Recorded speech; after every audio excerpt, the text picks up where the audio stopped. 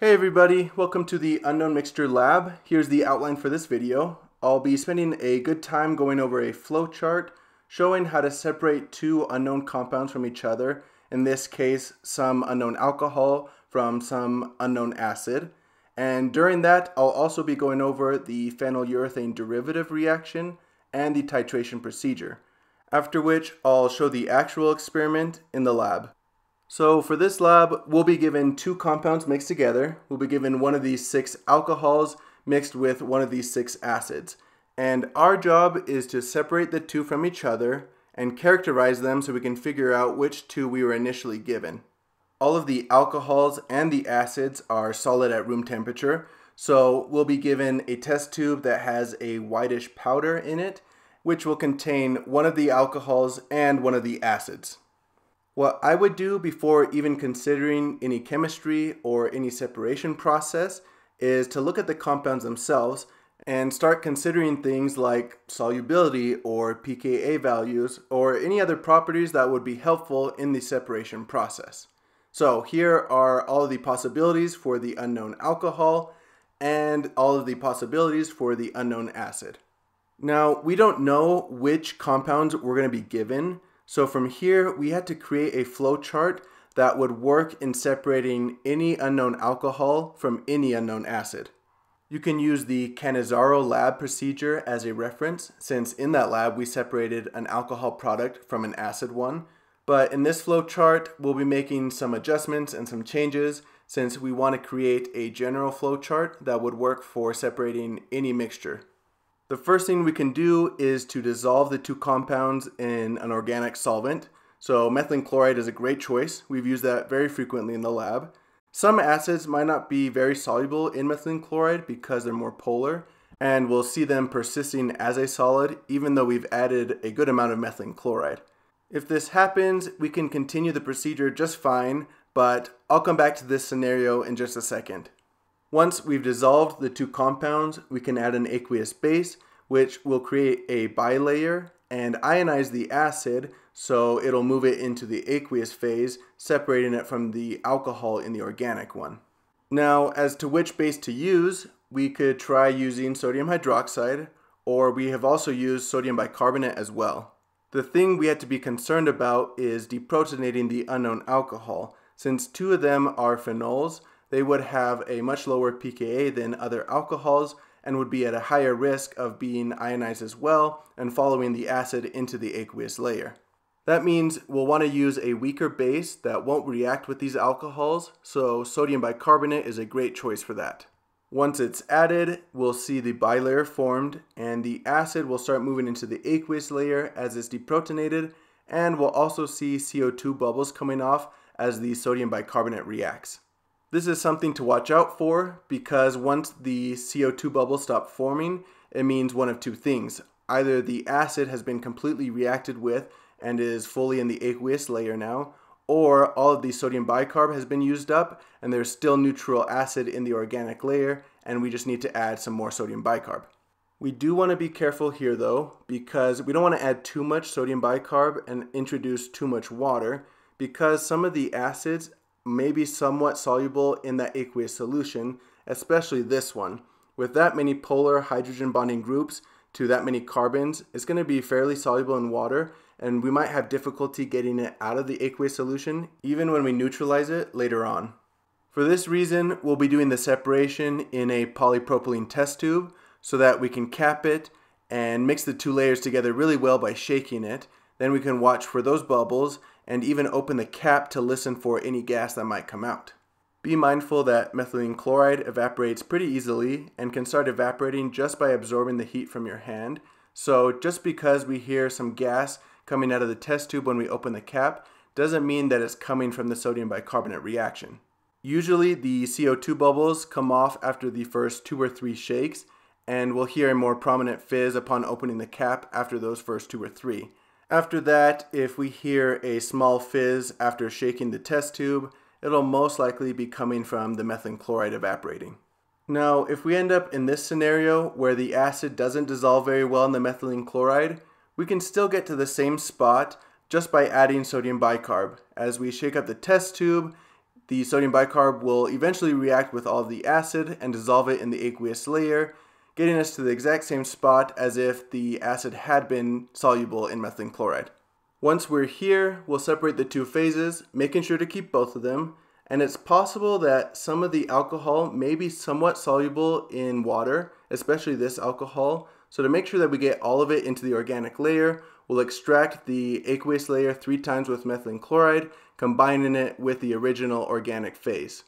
We don't have to worry about the acid moving into the methylene chloride during those extractions. Because it's ionized, it won't want to interact with the organic solvent at all and will remain in the aqueous layer. In the Cannizzaro procedure, the organic extracts were rinsed with sodium bicarbonate after separating them from the aqueous phase. But the only reason that we would do that in this lab would be if we didn't use enough sodium bicarbonate initially and there was still some neutral acid left over in the organic phase. So this part is kind of left up to the students to decide whether or not they want to rinse the organic layer with sodium bicarb. The thing we're worried about is the alcohol being somewhat soluble in water and moving into the aqueous layer right after we just separated it. If we do decide to do the rinse, we'll want to use a conservative amount to minimize the risk of losing any alcohol product. And if there's no acid, we won't really see anything happen, just the bilayer form. But if there is acid left over, we'll see some CO2 bubbles as the acid reacts and moves into the aqueous layer. Either way, we'll remove the methylene chloride layer after and dry it with sodium sulfate. Then we can evaporate the solvent to get the crude alcohol and recrystallize it so that we can characterize pure crystals and get an accurate melting point range. The problem here is that we don't know which alcohol we have, and therefore we don't know which solvent would be best to use in the recrystallization process. In the past, we've used ligroin, we've also used ethanol and water, and we could even use an ethanol water mixture if either ethanol or water doesn't work out too well. In the Cannizzaro lab, ligroin was used as the solvent to recrystallize the alcohol product, so generally that's a safer choice in recrystallizing the unknown alcohols. But to be safe and to figure out which one would really be best, what we'll do is separate a little bit of the crude product into three separate test tubes and in each of those recrystallize the crude alcohol using one of the three solvents or an ethanol water mixture. Whichever one ends up working best, we'll just use that solvent to then recrystallize the rest of the crude alcohol. Once we've separated those crystals, we can then obtain the melting point range and compare that to the literature values on the table. Now, when taking the melting point, what I would do instead of waiting between 54 and 142 degrees to see where it melts is to place it somewhere in between values and see what happens. For example, I would place it in between these two values, say like 100 degrees Celsius, and if it doesn't melt, that means it has to be one of these two compounds. But if it melts instantly, that means it's going to be one of these four compounds. Then I would probably put it in around 60 degrees, and if it melted pretty quickly, it would probably be one of these two and you could start at 54 degrees or a little bit below and ramp the heat up to see exactly where it melted. If it didn't melt, then it's most likely one of these two. It's possible that we would get a very, very pure 1-octadecanol that wouldn't melt, but more likely it's going to be benzhydrol or the 3,5-dimethylphenol. Once we've acquired the melting point range, we'll use 100 milligrams of the remaining crystals to form a phenylurethane derivative. And this is kind of how that will work. The alcohol will react with phenyl isocyanate and form this phenylurethane derivative, which is a different solid from the original unknown alcohol and has varying melting points depending on the R group that was attached to the alcohol. The literature values for the melting points of the derivatives are given in the table as well, and we can compare the melting point that we get for the derivative to the original melting point that we took for the unknown alcohol to figure out exactly which alcohol we had. This will be really helpful in distinguishing compounds that have similar melting points, like these two. For example, if we got a melting point between 65 and 66 degrees Celsius, it could definitely be benzhydrol, but it could also be a slightly contaminated 3,5-dimethylphenol. But the second melting point of the derivative can really help in clearing the ambiguity that might exist there. We have to be careful of having water contamination here though, because obviously water has OH groups as well and can react with the phenyl isocyanate to form this diphenylurea impurity, which has a melting point of 241 degrees and can definitely contaminate the urethane derivative that we would want.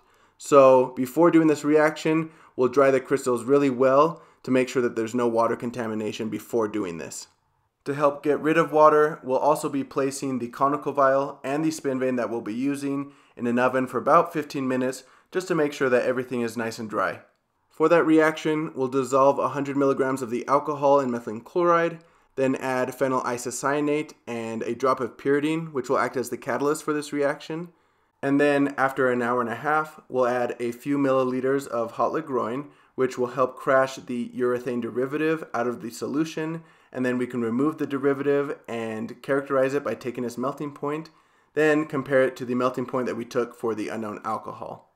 If we did a good job, this should give us a pretty good idea of which alcohol we have, and we can write that in our conclusion. Now, as for the acid, we have it dissolved in an aqueous solution, so we'll want to add a concentrated acid like 12 normal HCl to neutralize it. We want to use a more concentrated acid because if we use a more dilute one, it'll require more solution to completely neutralize the unknown acid, and that'll introduce more water, and if our acid is soluble in water, that could cause problems. As the hydrochloric acid is added, we'll see CO2 bubbles coming off as it reacts with the sodium bicarbonate, and eventually the unknown acid will precipitate out of solution as a white slurry, and we can test the pH of the solution to make sure that it is acidic. That way we can know that the unknown acid is fully neutralized. At this stage, we'll want to make sure that the solution is stirred very well because there might be some base remaining that is unreacted, and upon stirring it, the hydrochloric acid will react with that, more CO2 will come off, and the unknown acid could redissolve into that solution. Upon checking the pH, we'd see that it might not be fully acidic, and we'd have to continue adding acid until it was. If we end up with an acid that is soluble in water, we might not ever see a precipitate form, even though we stir it for a long time and the solution remains acidic. If this ends up happening, there is something that we can do, but I'll come back to that in a second. Once we have the neutralized acid, we can remove it from the aqueous solution and then recrystallize it to get pure crystals that will give us an accurate melting point. And again, we don't know which acid we have, so we can do the same thing that we did with the unknown alcohol, separating a small portion into three separate test tubes and testing the solubility with the three different solvents.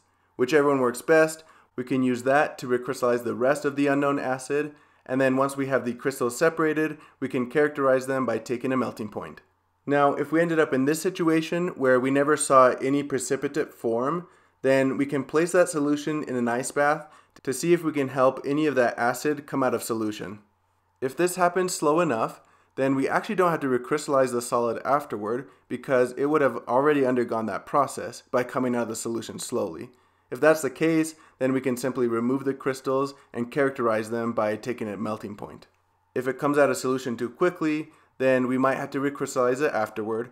And if it doesn't ever come out of solution, then we'll probably have to start over, being more careful of how much sodium bicarb and aqueous solution we add. After acquiring the melting point, we can take the rest of the unknown acid crystals and use them to perform a titration. To do that, we'll accurately weigh around 50 milligrams of the unknown acid and dissolve that in 15 to 20 milliliters of water. If it doesn't dissolve in that much water, then we could try an ethanol water solvent system. For that, we would dissolve the acid in a minimum amount of ethanol, heating it to make sure that it did fully dissolve, then add enough water to make the solution at least 50% aqueous. Once the acid is fully dissolved, we'll add a drop of the phenolphthalein indicator, and we'll want to make sure to do this or else nothing's going to happen. The solution won't change color, and most likely we'd have to start over. Once that's all ready though, we'll start adding the standardized sodium hydroxide, which is usually around 0.1 normal, but the stockroom will give us a specific one, and we'll add that to the solution using a burette with a stopper so that we can add it dropwise, and we'll add that just up until the solution turns and remains a light pink color. This will mean that the base has just reacted with all of the acid in there and we can then measure the amount of base used in milliliters. Once we have that data, we can find the neutralization equivalent by taking the weight of the unknown acid in milligrams and dividing it by the milliliters of base used times by the normality of that base. We can then calculate the molecular weight of the unknown acid by multiplying the neutralization equivalent by the number of acidic groups on the compound that we think we have. We can then compare that number to the molecular weights of the unknown acids and to the melting point range that we obtained earlier. So I'll show a quick example of how this can be helpful. Let's say that we get a melting point range for the unknown acid from 131.9 degrees to 133.2 degrees Celsius. So that looks to be right in the range for cinnamic acid or in the range for a slightly contaminated sebacic acid. We then run the titration, weighing out 56 milligrams of the acid and using 4.8 milliliters of 0.120 normal sodium hydroxide, which would give us a neutralization equivalent of 97.22. We look at cinnamic acid and see that it has one acidic group on it, so we would multiply the neutralization equivalent by 1 to get the molecular weight and compare that to the molecular weight of cinnamic acid, which is off by a bit. So we could look at sebacic acid and we can see that there are two acidic groups on it, so we would multiply the neutralization equivalent by 2, which is a lot closer to the molecular weight of sebacic acid. So the data from the titration would be leaning towards sebacic acid rather than cinnamic acid. From here though, deciding on which acid we actually have kind of depends on how well we feel like we did the titration versus how well we feel like we isolated a pure crystal to take an accurate melting point. That's kind of up for the student to decide. So once we have the data for the acid as well as for the alcohol, we're going to make our best educated guess based off of how things went in the lab. Once we think we know which compounds we have, we'll write those in our conclusion along with the reasons why. And then the second part is to look at the bottom of the procedure through all of the NMRs and find the ones that we think match up with the two compounds that we had. Then we'll draw the molecules and label the peaks just like we've done in all of the other labs. When labeling these, be aware that the NMRs were done with dry solvents, which allow coupling between alcohol groups and neighboring hydrogens, which we haven't really seen before. So we'll actually see splitting for the alcohol peaks, and they'll also cause splitting for neighboring hydrogens as well.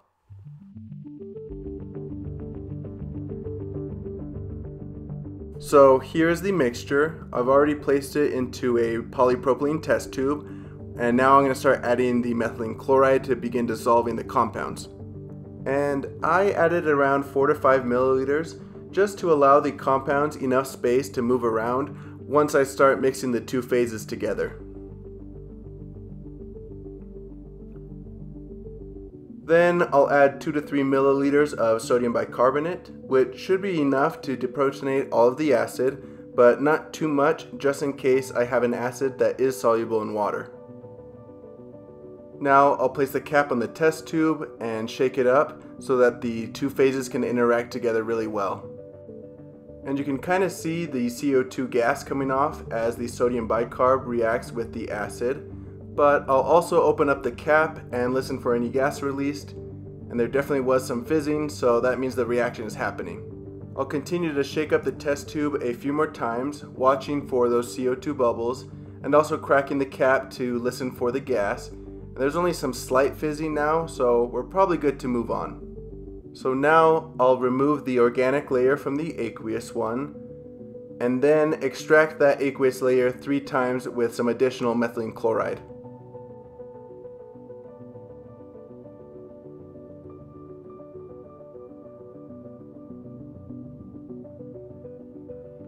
Once those extracts are gathered, I'll dry them over sodium sulfate and I'll add that until it's free flowing. Then I can remove the methylene chloride solution and rinse the remaining sodium sulfate with some additional methylene chloride to reclaim any unknown alcohol that would have been left behind.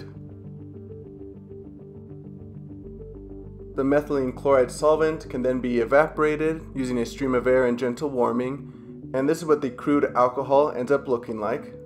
I'll gather it so I can begin the recrystallization process, separating a small portion of it into three separate test tubes in order to test out which solvent is going to work best for recrystallizing this unknown alcohol. Here are the three solvents that I'll be testing. I'll try ligroin, 95% ethanol, and water, and possibly also an ethanol water mixture.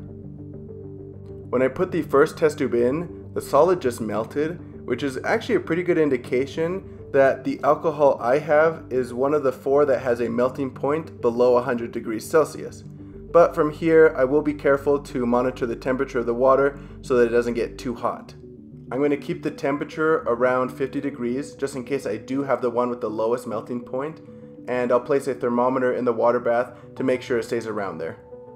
The first solvent I'll test out will be water, so I'll add that with some stirring to try and dissolve the solid.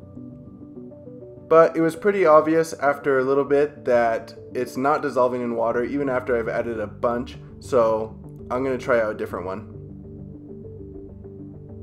Next, I'll test ethanol to see if that works better.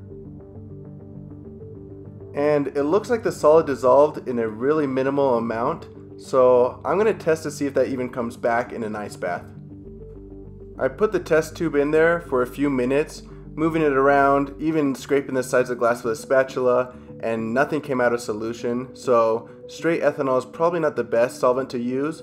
I might be able to use a water ethanol mixture, but first I want to try out using ligroin to see if that works better. I'd imagine that this nonpolar solvent would work pretty well since the solid was not soluble basically at all in water. So I'll keep adding the ligroin with some stirring to see if it dissolves.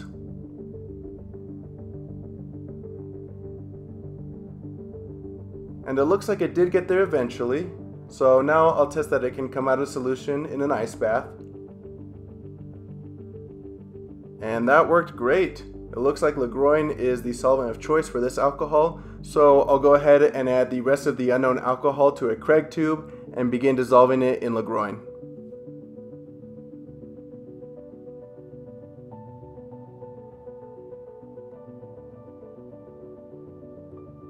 Once it's fully dissolved, I'll confirm that it can still come out of solution in an ice bath, which looks like it still can, so I'll redissolve it in the hot water bath, and then leave it at room temperature so that the alcohol can recrystallize slowly.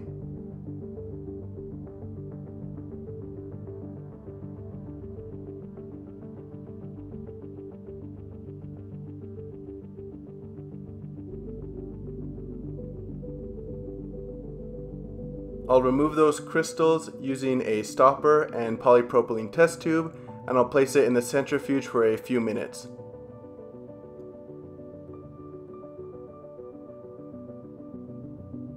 Now I can remove the pure crystals and see where this alcohol's melting point is. I initially put it in right around 60 degrees Celsius since I already know that it's going to be one of the four lower melting points and nothing happened, so I'm going to slowly start raising the temperature to see exactly where this melts. And I started seeing it melt around 64.7 degrees Celsius, and it looks like it completely finished around 65.9 degrees Celsius. Now that the melting point has been obtained, I can start the derivative reaction by heating up a conical vial and a spin vane in the oven for 15 minutes. Then I'll weigh out 100 milligrams of the unknown alcohol crystals and add that to the dry 5 milliliter conical vial. I'll get some dry methylene chloride from the hood and add that until the solid is completely dissolved. And it shouldn't take any more than a milliliter. Once that's ready, I can add one drop of pyridine and then 100 microliters of phenyl isocyanate. Now I'll just cap the vial and let that react for an hour and a half. While that's going, I'm going to go ahead and start working on the unknown acid. So I'll get the 12 normal hydrochloric acid to begin neutralizing the solution and I'll add that until the solution is acidic. You can see the CO2 bubbles coming off as the hydrochloric acid reacts with the remaining sodium bicarb. And remember that we want to be stirring this really well so that the hydrochloric acid is able to react with everything in there. After a little while, I'll go ahead and test the pH to see where we're at. And it's not quite acidic, so I'm going to keep adding the hydrochloric acid and keep spinning it until we see precipitate forming or the solution is fully acidic. At this point, I'm seeing fewer bubbles when I add the HCl, almost none, so I'm going to go ahead and test the pH again. This time it is acidic, but just in case, I'm going to allow the solution to spin for a while longer to make sure that the HCl has reacted with all of the base. And I have yet to see any precipitate form, so this unknown acid has got to be very soluble in water. If the solution remains acidic and no precipitate has formed, I'll have to put it in an ice bath to try and get the product to come out of that solution. And it is still acidic, so I'm to go ahead and transfer the solution to a test tube now and place it in an ice bath to see if I can get that unknown acid to come out. After moving it around for just a little bit, nothing happened, so I'm going to leave it in there for a few minutes now, just to see if anything does change. It's kind of hard to see, but after about 5 minutes, some crystals started forming at the bottom and at the top, and eventually started recrystallizing really nicely. After the solid has completely formed, there's actually not going to be any need to recrystallize this acid because it already did that, coming out of the water solution slowly. These crystals should be pretty pure.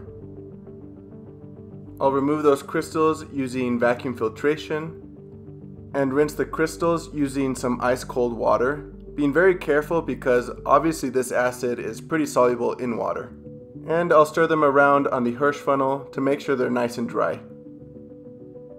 Once dry, I'll remove the crystals from the Hirsch funnel and see where they melt.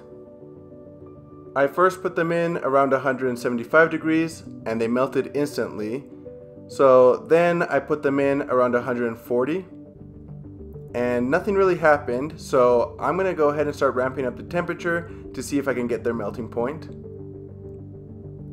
And it looks like everything started melting around 148.1 degrees Celsius and finished around 150.1. Now that I've got the melting point range, I'm going to start the titration by weighing out the unknown acid that I have left and I'll want to do this as accurately as possible so that I can also get an accurate molecular weight to compare to the melting point range.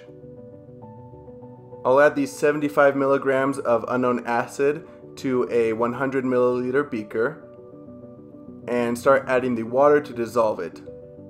Once there's enough water, I'll make sure that the spin bar is going so that it can help dissolve that solid. And although it was super soluble in water before, it seems like it's not quite there yet, so I'll add a little bit of ethanol to help. But eventually it looks like it did fully dissolve in that water bath. I'll make sure to add the phenolphthalein indicator so that we know when the titration is done. And this is the burette that I'll be using for the titration, which is currently just filled with water, so I'll go ahead and remove the cork and open the stopper at the bottom so all of the water can be drained out. Once that's done draining, I'll close the stopper so that I can then add the standardized sodium hydroxide, which has a concentration of 0.181 normal. And I'll add that through a funnel at the top of the burette, being careful to accurately note exactly where the sodium hydroxide reaches in the burette so that I can measure exactly how much base is used in the titration process. I'll set up the burette above the beaker with the dissolved unknown acid, carefully opening the stopper so that the base can start coming out slowly dropwise. And initially there's no pink color as the droplets hit the aqueous solution, but eventually some pink color starts to linger as the base is added, so I'll want to slow things down a little bit as that starts to happen. Eventually, the solution remains a pale pink color, and I continue to stir it just in case there is some unreacted acid in there, but after a few minutes, it looks like it's going to remain that pink color. So the titration is done. And here's where the sodium hydroxide ended up. So it looks like only 3.4 milliliters of base were needed. Now I can drain the remaining sodium hydroxide in the burette out. and rinse it with water afterwards to make sure that all of the sodium hydroxide has been removed.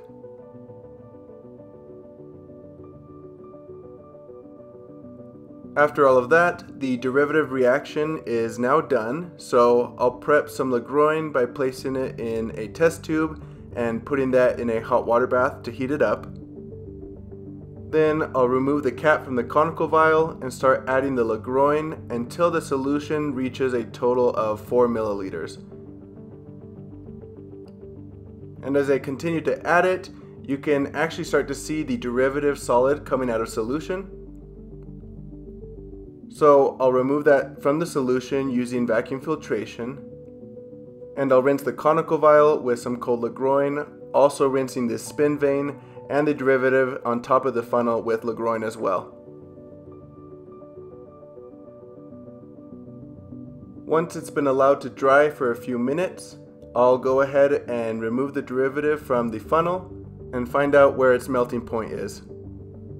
I first placed it in around 165 degrees Celsius and it melted really quickly, so I then put it in again a lot lower, around 110 degrees Celsius, and nothing happened, so I started it again, this time around 135 degrees, letting it warm up.